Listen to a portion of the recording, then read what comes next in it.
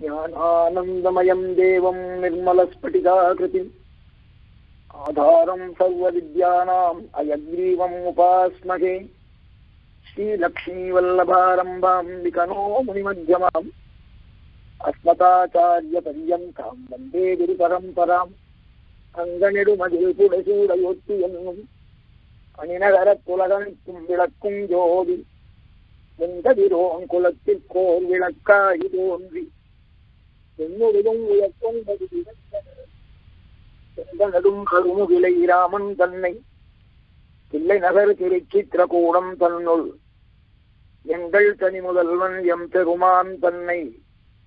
என்று கொலோ கண்குளிர காணு நாளே உயர்வர உயர்நலம் உடையவன் எவனவன் மயர்வர மதிநலம் மருளினன் எவனவன் அயர்வரு அமரர்கள் அதிபதி எவனவன் துயரரு சுடரடி துருஜடன் மனநே வெங்கடநாதச் செல்வன் விளங்கிடும் ஞான சிங்கம் வேதாந்த தேசிகனார் விளங்கட்டும் என் மனதில் என்றும்.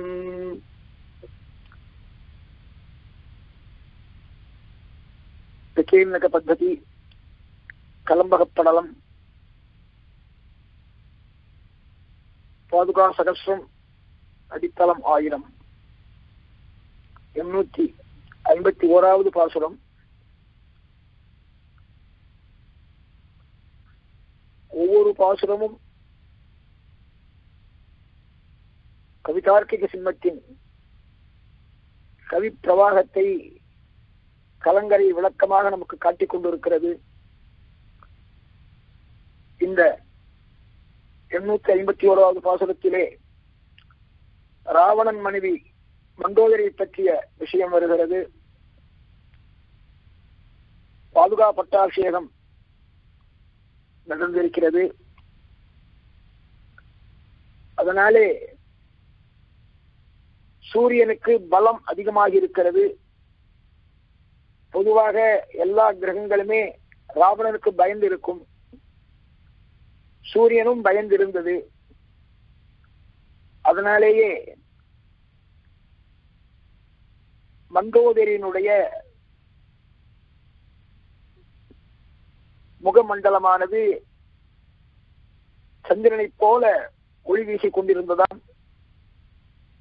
பொதுவாக சூரியன் வந்துவிட்டால் சந்திரன் ஒளி குறையும். ஆனாலும் ராவண பயத்தினாலே சூரியன் மண்டோதரியின் முகப்பொலிவை குறைக்கவில்லை. சந்திரனை போன்ற பொலி பொலிவு விசேஷமாக இருந்தது. ஆனால் பட்டாபிஷேகம் ஆன உடனே சூரியனுக்கு தைரியம் வந்துவிட்டது. தெம்பு வந்துவிட்டது. எனவே மங்கோதரியனுடைய சந்திர பிம்பமாகிய முக ஒளியை குறைத்து விட்டாராம். இதை அழகாக இங்கே நமக்கு காட்டித் தருகிறார். பாதுகையே உந்தனுக்கு பட்டாபிஷேகம் நடந்ததனால் பயந்திருந்த பகலவனும் பலம் பெற்றே ஒளி மிகுந்தான். மயன் பெண் மண்டோதரி தன்னுடைய ராவணன் மனைவி. முகச்சந்திரன் ஒளியை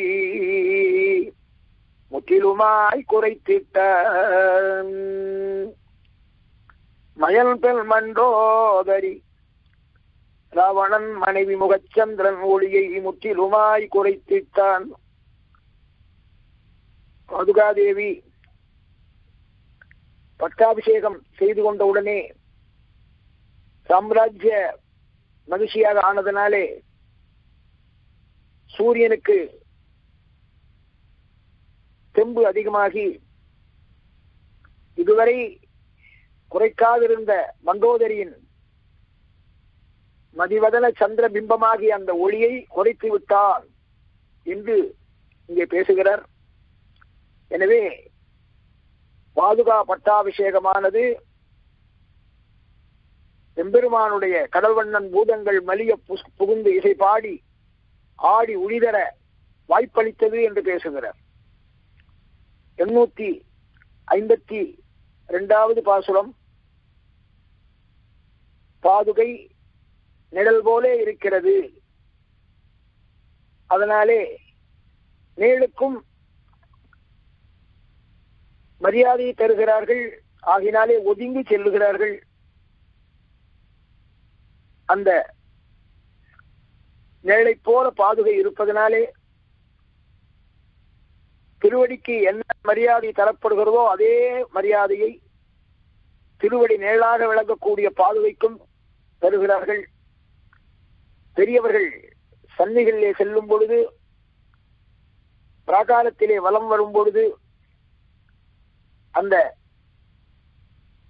விமானத்தினுடைய சாயை நிழலானது கீழே விழுந்தால் அதை மிதிக்க கூடாது என்று சொல்லி ஒதுங்கி போவார்கள். அதுபோல இந்த பாதுகைக்கு திருவடியைப் போலவே இருப்பதனாலே மரியாதை அதிகமாக தரப்படுகிறது. திருவடியும் பாதுகையும் சரிசமமாக என்னும் உன்னோடு ஒக்க வழிபட அலுவலினாய் போல் மதில் திரு என்று சொல்வது போல பாதுகையும் திருவடியும் சமமாக மதிக்கப்படுகிறது என்று பேசுகிறார் எண்ணூத்தி ஐம்பத்தி இரண்டாவது பாசுரத்திலே உலகெல்லாம் வணங்கும் உத்தமியே பாதுகையே. உடனிருப்பாய் உச்செல்வாய் வெளிவருவாய் பிரிவதில்லை உலகெல்லாம் வணங்கும் உத்தமியே பாதுகையே. உடனிருப்பாய் உச்செல்வாய் வெளிவருவாய் பிரிவதில்லை. நீல வண்ணனவன் நிறத்தின் நிலது போல் நிழல் கருப்பாக இருக்கும். இந்திரநீல கல்வொழியா இணைந்திடுவாய் சாட்சியும் நீ. அப்பொழுது கூட அந்த கருமையை கூட கருமை என்று சொல்லாமல் இந்திரநீல கல் என்று சொல்லி பல வண்ண மணிகளிலே ஒளிரக்கூடிய பாதுகையின் நிலத்தை அங்கே காட்டுகிறார் சுவாமி. எண்ணூத்தி ஐம்பத்தி மூன்றாவது பாசுரம் அடுத்தது. மகாலட்சுமியைப் போலவும் பூமி பிராட்டியைப் போலவும் பாதுகை விளங்குகிறது என்று பேசுகிறார். மணி பாதுகையேனி மலரடிகை பற்றியுள்ளாய். மணிவண்ணன் துணைவியரே மலர் மகளும் மண்மகளும். பொன்மணிகள் இந்திரநீலமணிகள் உடையவளே. பெண்மணிகள் உருவில் நீ பெரியோர்கள் உணர்கின்றனர். மணிபாதுகையே நீ மலரடியை பற்றி உள்ளாய். எப்பொழுது பார்த்தாலும் ஒளிவில் காலமெல்லாம் உடனாய் மண்ணி இருக்கக்கூடியது பாதுகை. எப்பொழுதும் பாதுகை பத மலர்களை பற்றி இருக்கும். மலர்மகளும் மண்மகளும் எம்பெருமான் திருவடிக்கு கைங்கரியம் செய்கிறார்கள் சைத்தியோபசாரம் செய்கிறார்கள். அந்த மலர்மகள் போலவும் மண்மகள் போலவும் இந்த பாதுகை விளங்குகிறது. இரண்யவர்ணாம் ஹரிணியும் என்று தங்கத்தைப் போல இருக்கக்கூடிய மகாலட்சுமி இந்திரநீலத்தைப் போல இருக்கக்கூடிய பூமி பிராட்டி இந்த இரண்டு நிறமும் வண்ணங்களும் பாதுகையிலே காணப்படுவதனாலே பாதுவை இருவருக்கும் பொதுவாக இருக்கிறது. எனவே பாதுகையை பார்க்கும் போதெல்லாம் பூமி பிராட்டியையும் மலர்மகளையும் எண்ணி எண்ணி வணங்குகிறார்கள் கொண்டாடுகிறார்கள் என்பதை உணர்த்துகிறார். மணி பாதுகையே நீ மலரடியை பற்றி உள்ளாய் மணிவண்ணன் துணைவியரே மலர் மகளும் மணல் மகளும் பொன்மணிகள் இந்திர நீலமணிகள் உடையவளே. பெண்மணிகள் உருவில் நீ பெரியோர்கள் உணர்கின்ற. எண்ணூத்தி ஐம்பத்தி நாலாவது பாசுரத்திலே தேவர்கள் பூஜை செய்கிறார்கள். அதை பற்றிய விவரங்களை இங்கே காட்டுகிறார் பாதுகையே உன்னை தேவர்கள் அர்ச்சிப்பார் பாதுகையே உன்னை தேவர்கள் அர்ச்சிப்பார் பதமெனவே பாதுகையே தோற்றம் அளிக்கின்றாய். முத்தொழியும் செம்மணியும் விரல் நகங்கள் தளிர் விரல்கள். மோட்சம் அளிக்கவல்ல என்பதனால் சரிசமந்த பாதுகையே உனக்கும் திருவடிக்கும் வேறுபாடு இல்லை என்று அதிகமாக பேசிக் கொண்டு வருகிறார். இங்கேயும் அதைத்தான் மீண்டும் நிறுவுகிறார். முத்தொழி மோட்சமளிக்கக்கூடியது. அங்கே செம்மணிகள் இருக்கின்றன. விரல் நகங்கள் எல்லாம் தளிர் விரல்களாக காணப்படுகின்றன. துளிரை போல காணப்படுகிறது. சந்திரனைப் போல இருப்பதாகவும் விரல் நகங்களை சொல்லுவார்கள். பேச்சந்திரன் என்றும் சொல்லுவார்கள். இப்படியெல்லாம் திருவடியையும் திருவடி நிலைகளையும் இணைத்து பேசி திருவடி மோட்சம் அளிப்பது போல திருவடி நிலைகளும் மோட்சம் அளிக்கும். எனவே சரிசமமானது இரண்டும் என்று பேசுகிறார். பாதுகையே உன்னை தேவர்கள் அர்ச்சிப்பார் பதமெனவே பாதுகையே தோற்றம் அளிக்கின்றாய். முத்தொழியோ செம்மணியும் விரல் நகன்கள் தளிர் விரல்கள். மோட்சமளிக்கவல்லாய் என்பதனால் சரி சமந்த எண்ணூத்தி ஐம்பத்தி ஐந்தாவது பாசுரத்தை பார்க்க இருக்கிறோம்.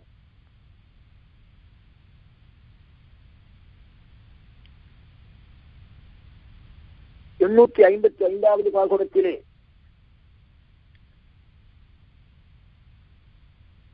பாதுகாதேவியானவள் தன்னை மிகவும் மங்களமாக அலங்காரம் செய்து கொள்கிறாள். அதை பற்றிய விவரத்தை இங்கே காட்டுகிறார். ஸ்நாதானுலேப சுரபிர் நவமால்ய சித்ரா என்று சொல்லி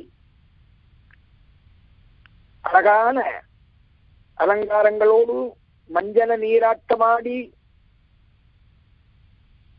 பாதுகாதேவி விளங்குகிறாள்.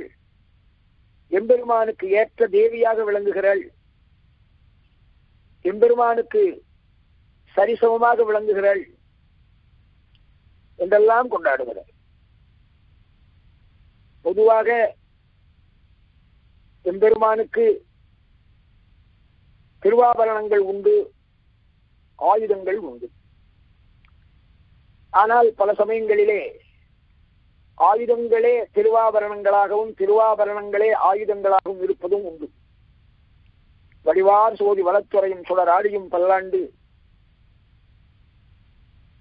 வடிவாயினின் வளமார்பினில் வாழ்கின்ற மங்கையும் பல்லாண்டு.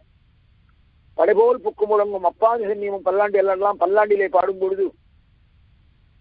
அந்த எம்பெருமான் திருமேனியிலே சங்கு சக்கரம் என்ன? வனமாலி கதி சாங்கி சங்கி சக்தி நந்தகி என்று. பஞ்சாயுதங்களையும் ஆயுதங்களாகவும் பார்ப்பார்கள் அணிமணியாகவும் பார்ப்பார்கள். அவசரத்தை பொறுத்து சூழ்நிலையை பொறுத்து அது அமைகிறது. அப்படியானால் பாதுகை ஆயுதமா? அணிமணியா? என்று பார்க்கும் பொழுது கேள்வி கேட்டுக் கொள்ளுகிறாள். மணி பாதுகையே நீ.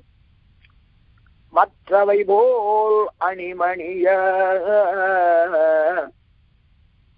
மணி பாதுகையே நீ.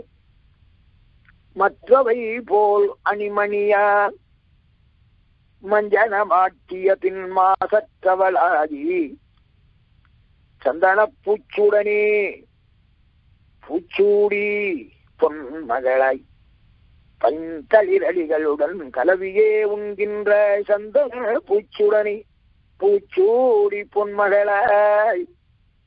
பந்தளிர் அடிகளுடன் கலவியே உண்கின்ற. பாதாரவிந்த பரிபோக நனன்யலபியம் மணி பாதுகையேனி மற்றவை போல் அணிமணிய. ரத்ன பாதுகையே துடைத்து நிர்மலமான வடிவத்தினாலே அழகியாக விளங்குகிறாய். அபிஷேகம் செய்யப்பெற்றவளாகி விளங்குகிறாய். ஸ்நானம் கண்டிருக்கிறாய். சந்தனப்பூச்சினாலே வாசனை உள்ளதாக புது மாலைகளை அணிந்து வியக்கத்தக்கதான சஞ்சார சமயங்களிலே விளையாடும் சமயங்களிலேயும் திரும்பி எழுந்திருடும் பொழுதும் மற்ற எவரும் பெற முடியாத பகவானுடைய திருவழித்தாமரையின் சேர்க்கையினால் உண்டான உயர்ந்த போகத்தை பெறுகிறாய். தன்னை தக்கபடி அலங்கரித்துக் கொண்டு திருவடியாகிற நாயகனோடு சேர்ந்து ரமிக்கும் உத்தம நாயகியாக பாதுகை இங்கு காட்டப்படுகிறாள். ஆகையினாலே அந்த ரத்ன பாதுகை ரங்கநாதனுக்கு உகந்தவளாக அடிகளிடல் கலவியே உண்கின்ற. மஞ்சளமாட்டுகிறார்கள். சந்தன பூச்சி பூசுகிறார்கள். பூச்சி விடுகிறார்கள் மணி பாதுகையேனி மற்றவை போல் அணிமணியா மஞ்சனமாட்டிய பின்மாகற்றவளாகி சந்தன பூச்சுடனே பூச்சூடி பொன்மகன் பஞ்சளிரடிகளுடன் கலவியே உண்கின்ற.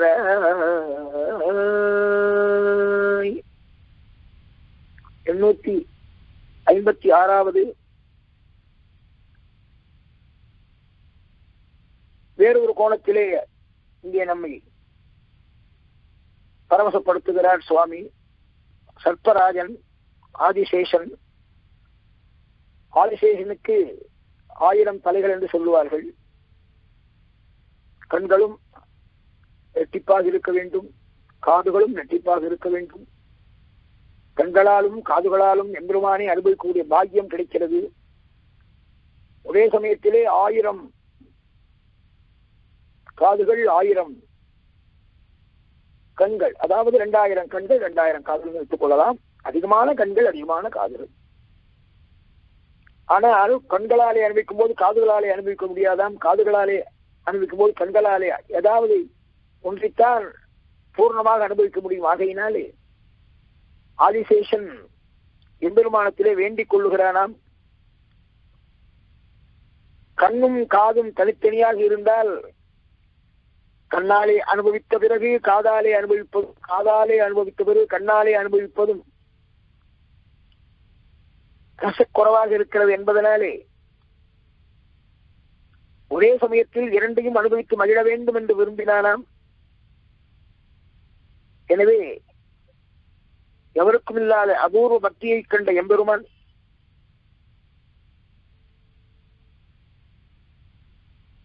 பாதுகையை பார்த்தாராம் பாதுகா தேவி. ஆதிசேஷனுக்கு கண்களையே காதுகளாக்கி காதுகளையே கண்களாக்கி கற்செவியாக ஒரே சமயத்திலே இரண்டையும் உணர்த்தக்கூடிய சக்தியை தந்தொருளினாராம். எனவே சர்ப்பராஜனும் அவனை சேர்ந்த மற்ற சப்பங்களும் கச்சவி பெற்றவர்களாக ஆகினார்கள். எனவே ஆதிசேஷன் அவனேதான் பாதுகை. சென்றால் குடையாம் இருந்தால் சிந்தாசனமாம் நின்றால் மரவடியாம் நீழ்கடல் என்றும் போனையாம் மணிவிளக்காம் பூம்பட்டாம் புல்குமனையாம் என்றும் திருமாலுக்கு அரவு என்று சொல்வதனாலே.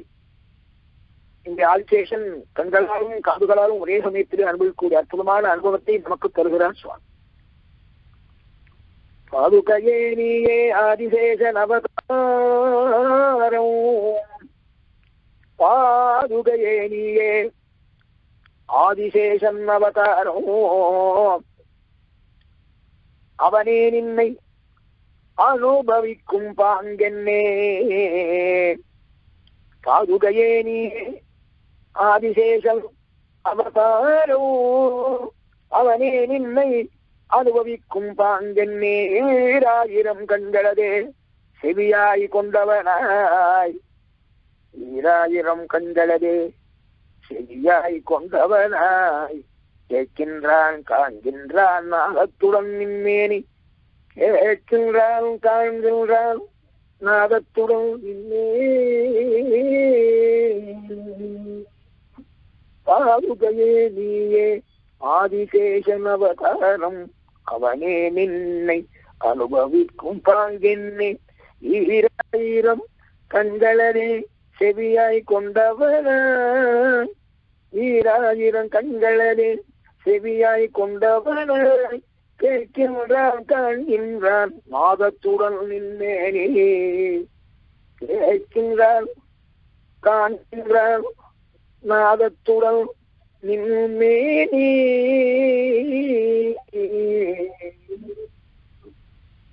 எண்ணூத்தி ஐம்பத்தி ஏழாவது.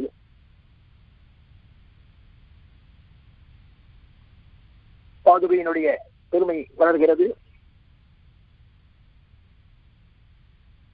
எண்ணூத்தி ஐம்பத்தி ஏழாவது பாசுரத்திலே பாதுகையே மிகவும் பிரகாசிக்கின்ற ஆயிரம் கிரணங்களால் அழகியதான பெருமாள் திருவடியினால் ஆகாசத்தினால் சஞ்சாரம் செய்கின்றதான நீ உன்னிடத்தில் உள்ள பக்தியினால் பரவசராக்கப்பட்ட ஜனங்களுக்குள் முதல்வனான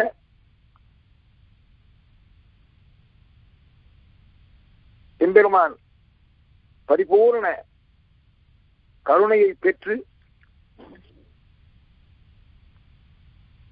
சிவனுடைய சூரியன் எனப்படுகின்ற விளையாட்டு மூர்த்தியை நிகழ்கின்றாய். எனவே சிவனுடைய சூரியன் என்று இங்கே இதுதான் ஒரு அற்புதமான கருத்தை பதிவு செய்கிறார் சுவாமி. ஆயிரக்கணக்கான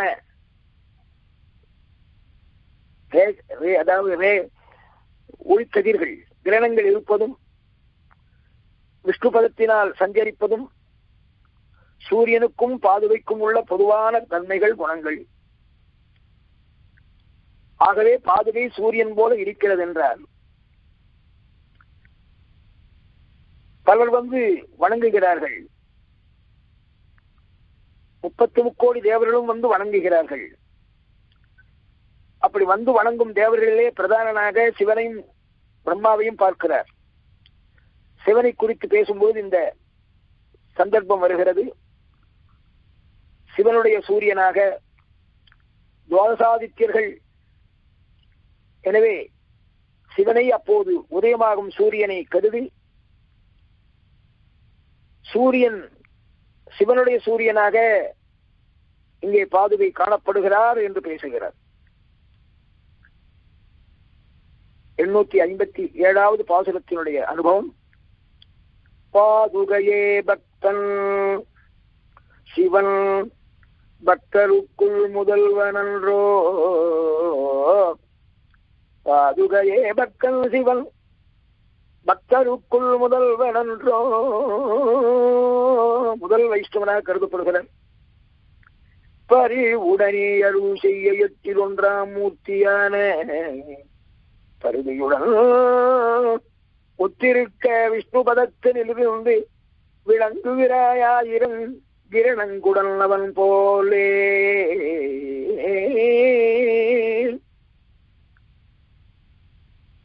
இங்கே. சிவனைப் போல காட்சி தருகிறார். சிவசூரியனாக காட்சி தருகிறார் என்று பேசுகிறார்.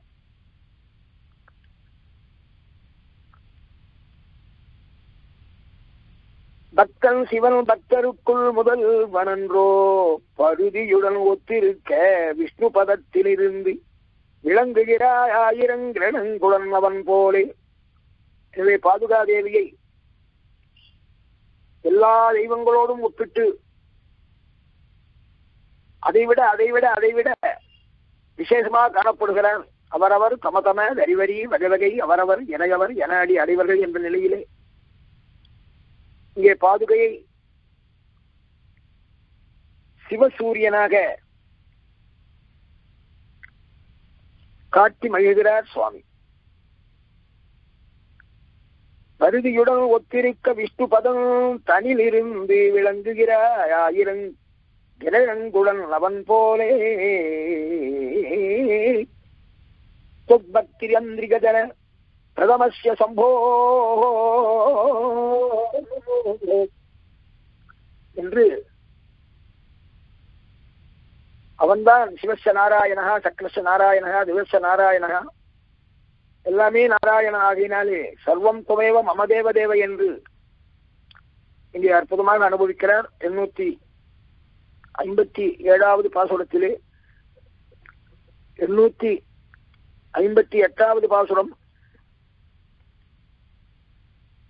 நாட்டகத்தும் காட்டகத்தும் வல்லவரே பாதுகையே. நாதனவன் மனதறிந்தே நச்செயலே புரிந்துள்ளாயி.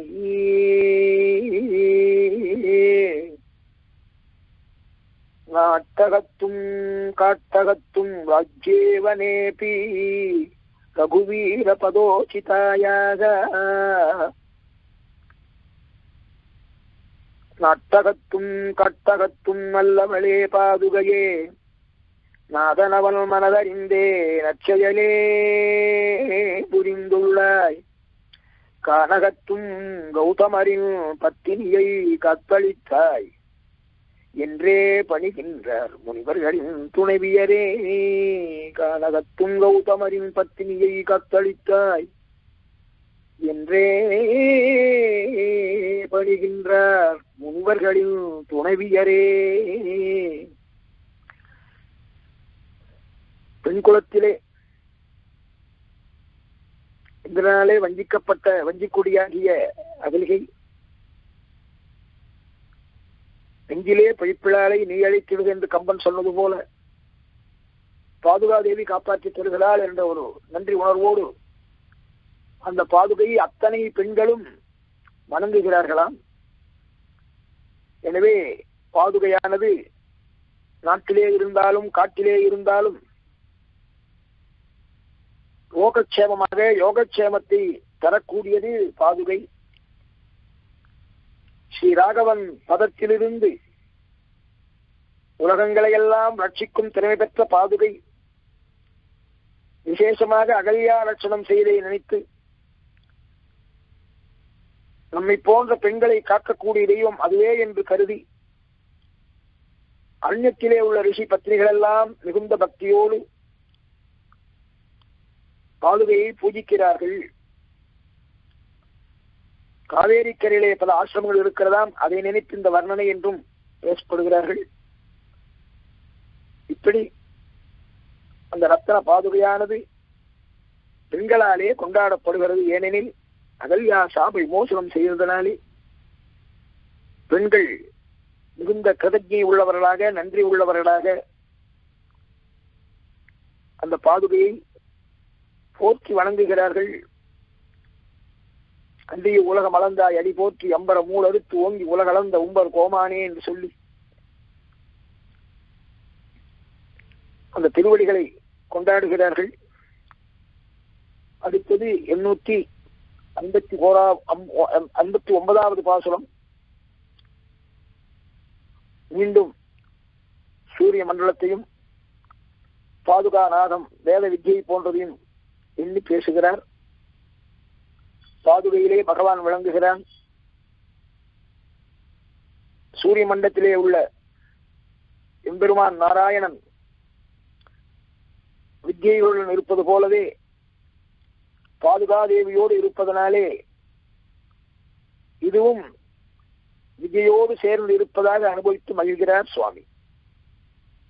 எண்ணூத்தி ஐம்பத்தி ஒன்பதாவது பாசுரம்.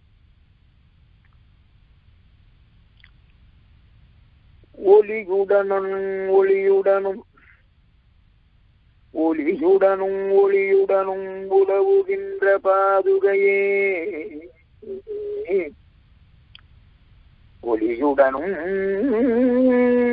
ஒளியுடனும் உளவுகின்ற பாதுகையே உன்னாதன் உனை தரித்தான் உலக காண புறப்பட்ட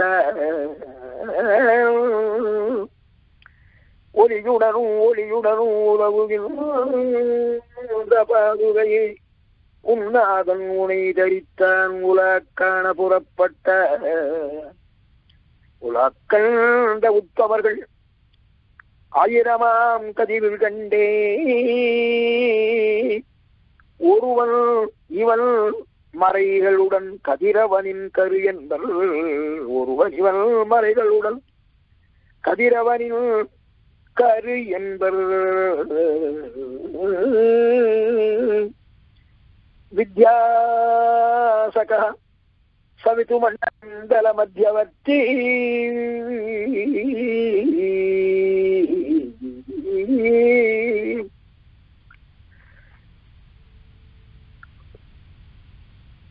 எம்பெருமானை கண்ணாலே நேரிலே பார்க்க முடியாது பாக்கியவான்கள் அந்த புண்ணியத்தை பெற்றிருக்கிறார்கள் ஆனால் கஸ்மதியம் போல் முகத்தான் என்று சூரியனைத்தான் கண் கண்ட தெய்வமாக எல்லோரும் உணர்கிறார்கள்.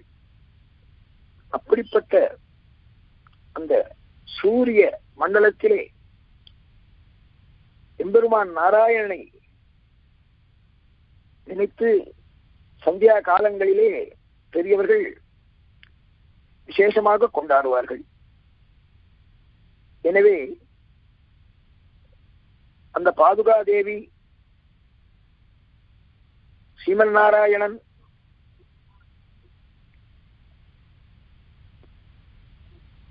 நாராயணன் சூரிய மண்டலத்திலே இருப்பது போலவே பாதுகையிலும் ஒளிர்கிறான் என்பதை கதிரவின் கழுவாக பாதுகை திகழ்வதாக பேசுகிறார்கள்.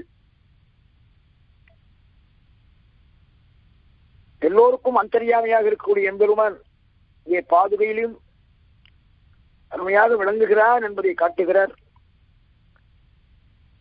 ஒளியுடனும் ஒளியுடனும் உலவுகின்ற பாதுகையே உன்னாதன் உனை தரித்தான் உலா காண புறப்பட்டான் உலா கண்ட உத்தமர்கள் ஆயிரமாம் கதிர் கண்டே ஒருவன் இவள் மறைகளுடன் கதிரவனின் கரு என்பல்.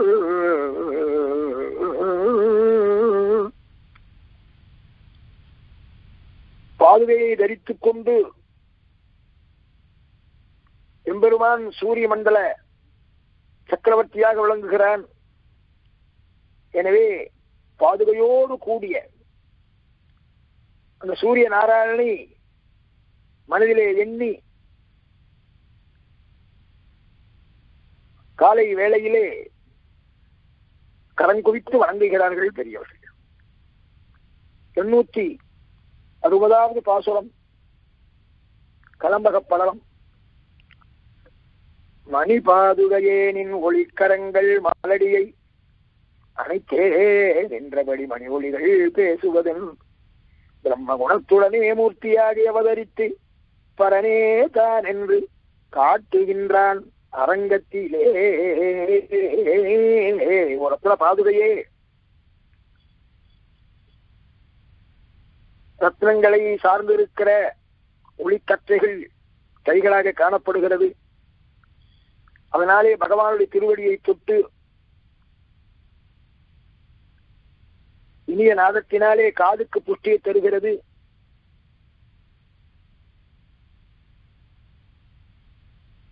வேதங்களை தூஷிக்கின்றவர்களை ஒதுக்கிவிட்டு வேதங்களை போஷிக்கின்றவர்களுடைய அற்புதமான குரலை பாதுகை நமக்கு காட்டி தருகிறது என்பவர் மயர்வர மதிநலம் அருளுதல் என்று சொல்வது போல ஆசிரமங்களில் ரிஷிகள் மந்திரங்களை சொல்லி சூரிய உபஸ்தானம் செய்வதை அனுசரித்து வர்ணனம் செய்கிறார் இங்கே. ஏற்கனவே சென்ற பாசுரத்திலும் அதுதான் பார்ப்போம். அப்படி பெரியோர்கள் உபஸ்தானம் செய்வதற்கு ஏற்றதாக சூரிய மண்டலத்திலே உள்ள வஸ்துவே. பரதத்துவம் எனவே இந்த எண்ணூத்தி ஐம்பத்தி ஒன்பதாவது பாசுரத்தையும் எண்ணூத்தி அறுபதாவது பாசுரத்தையும் சேர்த்து அனுபவிப்பார்கள் பெரியவர். சூரிய மண்டல மத்தியிலே இருக்கும் அவன்தான் என்று கொண்டாடுகிறார். அதையே இங்கே சூரிய மண்டலத்தின் மத்தியிலே உள்ள வஸ்துதான் பரத்துவ வஸ்து என்று நிஷ்கர்ஷனம் செய்கிறார். மணி பாதுகையேனின் ஒளிக்கரங்கள் மாலடியை அனைத்தே நின்றபடி மணி ஒளிகள் பேசுவதில் பிரம்ம குணத்துடனே மூர்த்தியாகி அவதரித்து பலனே தான் என்று காட்டுகின்ற அரங்கத்திலே எனவே பரத்துவத்தை நாடு நகரமும் நன்கறிய நமோ நாராயணாய வென்று பாடுமனமுடை பத்தொருவிழியே வென்று பல்லாண்டு கூர்மினி என்று சொன்னது போல பல்லாண்டும் பரமேட்டியை அந்த பரனை பராத்பரனை பரம்பொருளை ஒத்தாரும் மிக்காரும் இளையாத மாமாயனை கருணை ஒருவனை அத்விதீயனை இங்கே காட்டுகிறது ரத்ன ஒளி எனவே இந்த எண்ணூத்தி அறுபதாவது பாசுரம் பாதுகை நமக்கு பலனை காட்டித் தருகிறது என்ற ஒரு அற்புதமான செய்தியை ஏ நமக்கு அருள்கிறார் சுவாமி. தொடர்ந்து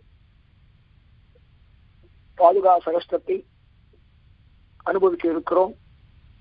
மங்களம் கோசலேந்திராய மகனீய குணாத்மயே சக்கரவர்த்தி சார்வபூமாய மங்களம் சிறந்திரும் ஞான சிங்கம் சீர்மிகும் குணங்கள் கோட்டம் வேதாந்த குருவாய் தோற்றம் வெங்கடநாதன் போற்றி லட்சுமி வல்லப சங்கல்ப வல்லபாய மகாத்மனி। ஸ்ரீமத் ஸ்ரீமத்விகணசே பூயா நித்யம் ஸ்ரீ நித்யமங்கலம் சர்வம் ஸ்ரீ। கிருஷ்ணார்ப்பணமஸ்து